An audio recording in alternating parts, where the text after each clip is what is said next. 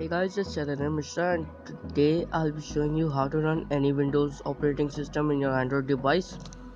So let's start the video. Now I will put the Windows ISO's link in the description so you have to just go and download from there. Um, like uh, Windows 8, 8.1, 10, XP, 95, any Windows can be run. Um, but I don't recommend you to run Windows 10 because it's uh, very big. So I will recommend you can run XP 7 or even 8 so um, just go to a description and download the game. I'm sorry the download the ISO file and go to the second link in the description for the limbo pc emulator. And go to the if you want you can go to the link in the description or just simply search in the play store for limbo emulator. You have so to, you have to just uh, paste your go to your file explorer and uh, go to the, the limbo limbo folder folder which is uh, automatically uh, where you have downloaded download the game. The iso file as you download the emulator now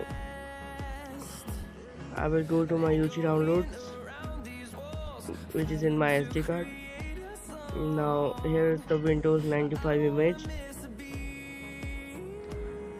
Just cut it. And uh, go to your internal storage and there must be a folder called limbo which is created as you download the limbo application now paste it here.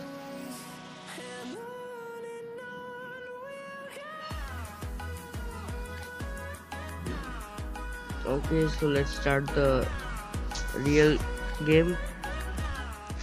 Now I have opened the limbo emulator. Now click I acknowledge. Now click OK OK now click on new and create a new machine and I am naming it here 95 as I am using Windows 95 image. You can name it anything. Now the architecture must be x86 um, if your phone supports ARM64 you can use 64 now machine type PC and CPU model QRIMA32 CPU cores.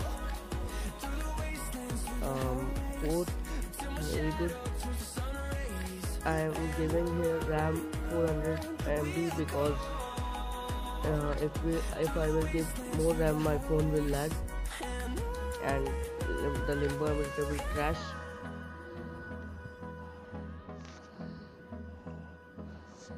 And so here just click on hard disk and just scroll down until you find Windows 95 image. Now click OK enable CD-ROM and open. Also scroll down and find the Windows 95 image. Now just go to the boot settings and select boot from CD-ROM now user interface SDL and orientation must be landscape and the screen should be full screen this and start this. It will take some time to load. I will just cut that part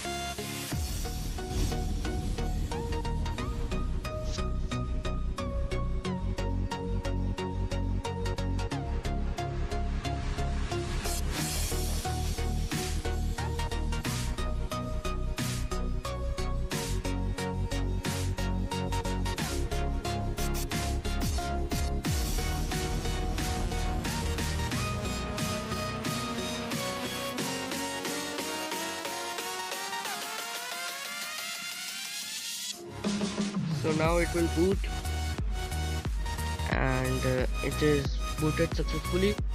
Now here you can see the mouse. If you want to use the mouse just hit your back button and click on this mouse icon so you can move your mouse with your finger.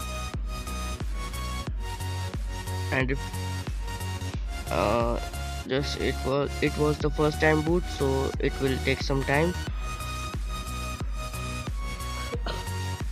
now just click on the start. Oh i'm sorry. Uh, now you are booted successfully. Now you can do anything you want. Uh, i don't have much internet so i just downloaded the windows 95 file. As it was very small i will put every link in the description so you can just download it. So here's my computer as you can see it is fully functioning fully functional functioning computer. So